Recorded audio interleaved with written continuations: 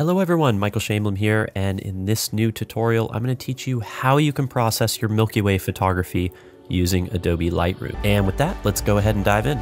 So here's a night sky image I took with the original A7S camera, which is actually still one of my favorite cameras for shooting the night sky. It still does a great job. Uh, you can see here I have my ISO all the way at 12,800. If you're using another camera like a Nikon or a Canon camera, you might consider putting that ISO a little lower. The Sony a7S seems to handle things really well at this high of an ISO. You'll notice I don't have any lens settings here. That's because I'm actually manually adapting the Nikon 14 to 24.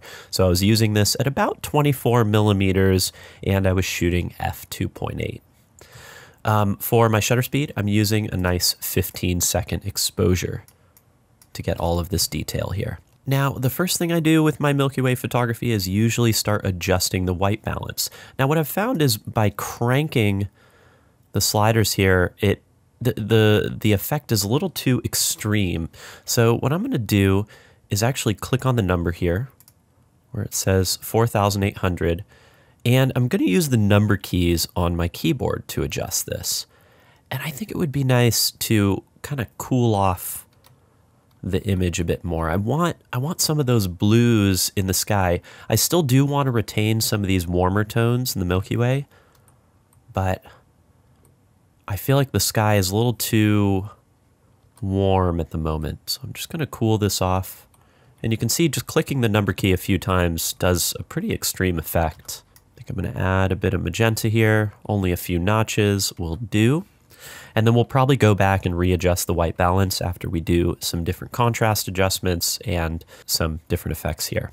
I always find that taking down the highlights does help with the detail in the Milky Way. You can see as I bring that down, you start to see a bit more detail in the core. I don't want to be too extreme with it, but that should work out nicely. I'm going to bring in a bit of the shadows. We're going to bring up the foreground a lot more here, but we want to do some of these adjustments selectively. So I'm trying to be subtle to start. Sometimes I find with night sky photography, adjusting the whites is a nice way of adding contrast to the image. So I'm just going to bring the whites up here. And then I'm going to also bring up the blacks. All right, so these sliders down here, texture, clarity, dehaze, you need to be very careful with these sliders. They can help, but you need to use them usually selectively.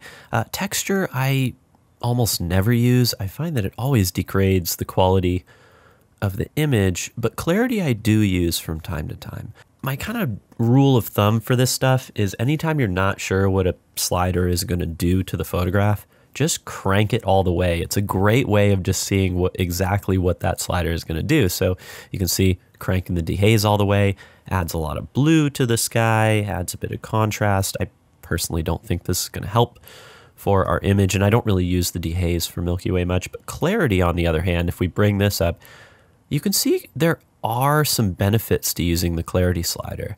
There's a little bit more detail in the water we can bring in. There's a lot more detail of the core of the Milky Way we can bring in with the with the clarity slider too. But again, we want to use this selectively. So I'm going to not use these for now, and we will revisit them later with either a brush tool or some sort of selection. I do like to bring in some colors into the Milky Way. Um, I find that Vibrance works really well as a more selective way of adding color instead of just bumping the saturation all the way. Sometimes I'll use a slight mixture of both, but I like a nice colorful Milky Way. This is subjective. You might like a more desaturated Milky Way.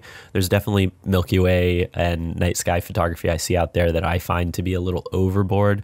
I try and find somewhere in the middle where you're retaining those beautiful galactic details, but you're not pushing it to an extreme level. The tonal curve is a great way of adding contrast to the image, and I find that you have a bit more control by bringing the shadows down here and maybe bringing up the highlights than you do by just using the contrast slider. And then color grading, which is a fairly new tool. Um, it was released in the last few years. And I actually do enjoy this tool for bringing in some colors into the photograph.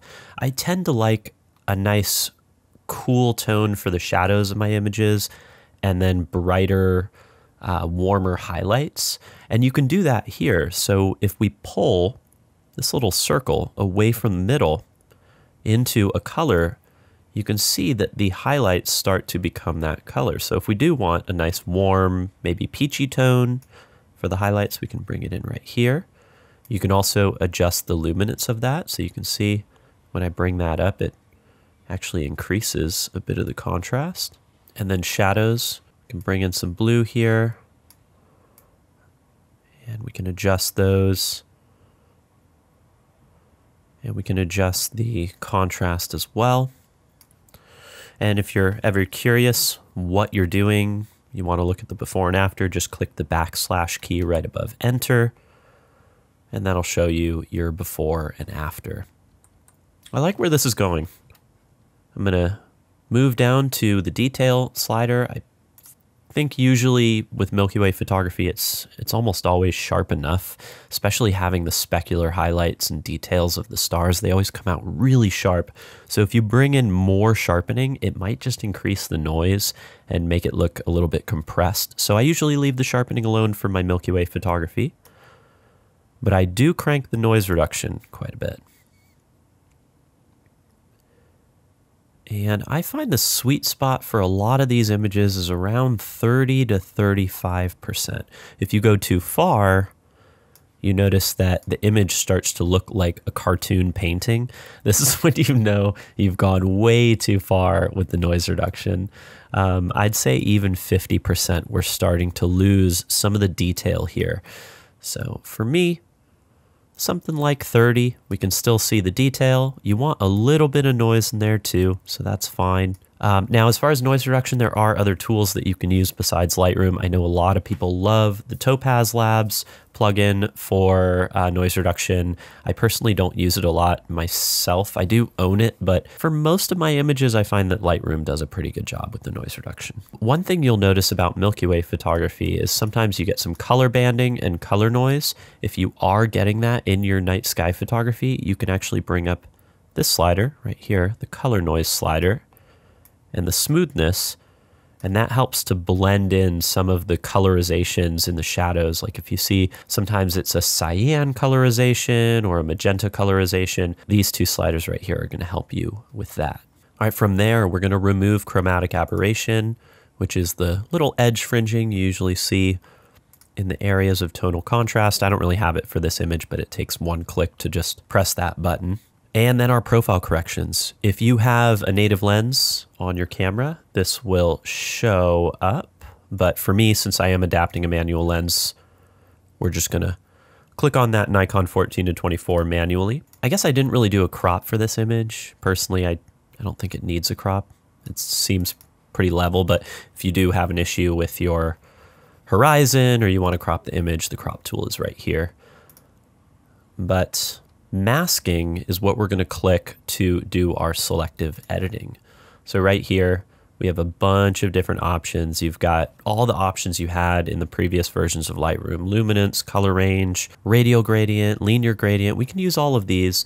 But one thing that I do find really nice now in the new Lightroom is the select sky button, which I know has gotten a bad rap in Photoshop for being a sky replacement tool, but it's really handy here in Lightroom for just making that sky selection. If we just take the exposure down, you can see it does a pretty phenomenal job at selecting the sky. There is one thing that I do to this filter every single time I apply it to make it a little bit more natural though.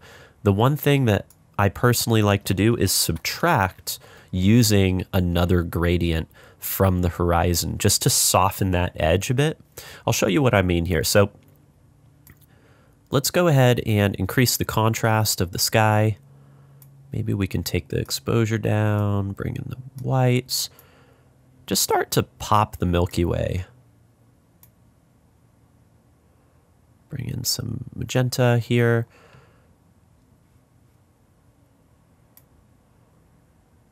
And we could even bring in some clarity now that it's just being applied to the sky. So from here, we want to go with this subtract from mask button. So as we click on this thumbnail, we get the little minus icon. We can then take a linear gradient. And I'm going to bring the linear gradient in from the water up through the sky. And if we now click on that, you can see it still has the selection, like we still have the selection around this rock face, but in the sky, we're getting that soft gradient. So a really helpful way of working with this filter. If you don't apply a subtraction to the sky filter, it almost always is going to look really, really unnatural. So make sure to apply that when you're using this technique. Now, another technique we can use with Select Sky is actually doing the inverse of this mask. So right here, we're targeting the sky with this red adjustment. And if we right click on this, invert mask, now we have our target selection for just the foreground. So we can work on the sky and foreground separately using the targeting sky mask. So I'm going to bring the blacks up a bit, bring in more contrast. I actually do think a bit of magenta back into the foreground should help. Now I am noticing as we're adding more contrast here, maybe the color grading we did here was a little bit extreme. So I'm just going to check up on this and I might make the highlights more towards orange and make these shadows a bit more towards like a violet tone. And that's one thing to consider when you're working on these Milky Way images or really any of your photography. Never be afraid to go back on an edit and readjust it. That's the beauty of Lightroom, where you can always go back on what you're doing if you find it's not working for the photograph. All right, I think this is looking good so far. I want to add more contrast to the sky, darken the sky a bit more. I don't really want to darken the horizon. I really like what's happening with the moonlight on the horizon and some of the brighter tones out here. So it's more about maybe creating a nice gradient that targets the top of the sky. So I'm going to use a linear gradient here, pull it from the top.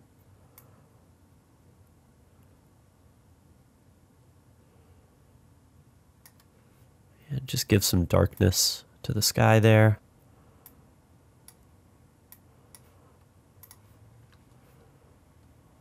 And now I'm going to make one more that's a brush tool.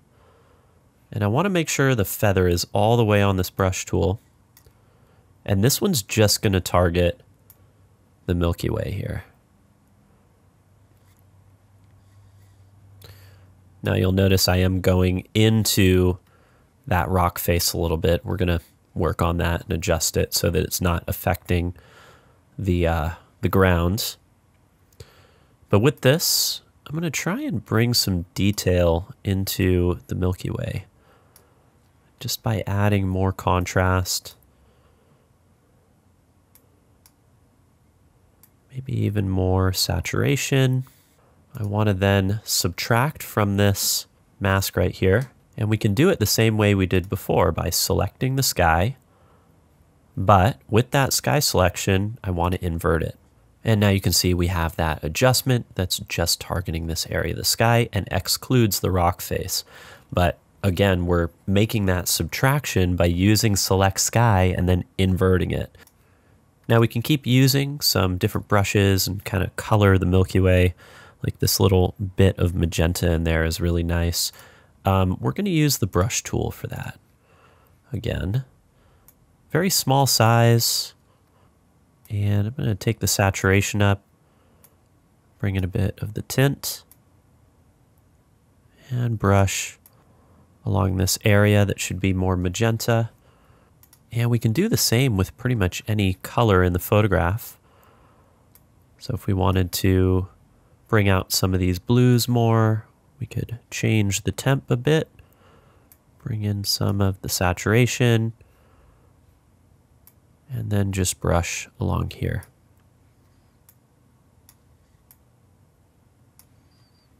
You just want to be subtle about some of these adjustments. Don't go extreme, don't go overboard. And I'm going to do one more brush selection. And this time I'm going to bring up the clarity, the contrast. And this one's going to be for this area of the core right here.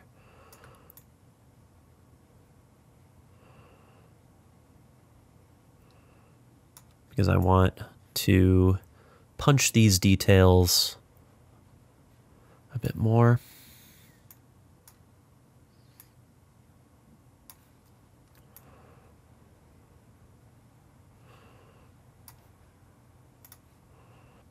I'm going to create a bit of a soft vignette here just to see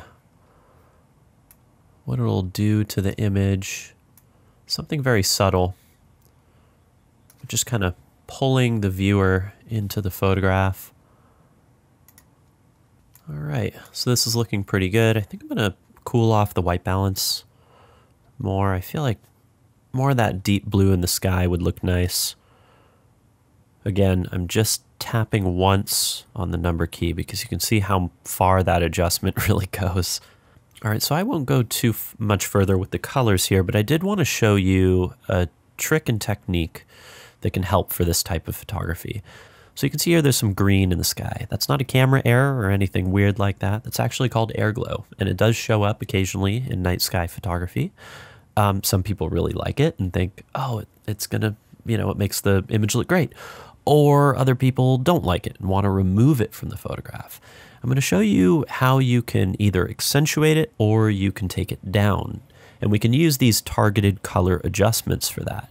So here's each color that we have in the photograph. We've got our reds, our oranges, yellows, so on. Um, and we can adjust the hue of each color, the saturation of each color, and the luminance of each color. This color right in here is a kind of a combination of green, yellow, and aqua. So if we take the hue here of green and we bring that down or we bring it up, you can see just how far we can accentuate that. So, you know, bringing the green up, we can also bring aqua, yellow, then we bring the saturation up on it. It really pushes that air glow out. It boosts it up and makes it a, a stronger part of the photograph. Now on the opposite end, if you wanted to remove that air glow, you would you would do the exact opposite. You would take this down, probably push the yellows a little bit more towards orange. And with green, you could take down that saturation. All right, so I think that looks pretty good. And honestly, for a single exposure using just Lightroom, really happy with the results we got here.